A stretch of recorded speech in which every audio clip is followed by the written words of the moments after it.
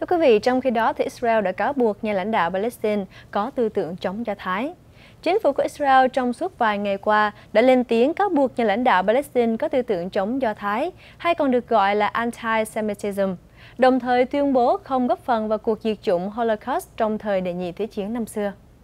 Cách đây khoảng vài ngày, dư luận đã trở nên dậy sóng sau khi Tổng thống Palestine là Mahmoud Abbas tuyên bố chính hành động của người Do Thái đã dẫn tới việc họ bị Đức Quốc xã sát hại ở Âu Châu. Các nhóm đại diện do người Do Thái nói rằng, tổ tiên của họ đã bị những chủ tịch ngân hàng và các kẻ rửa tiền bán đứng, chứ không phải do tín ngưỡng hay bất kỳ tôn giáo nào.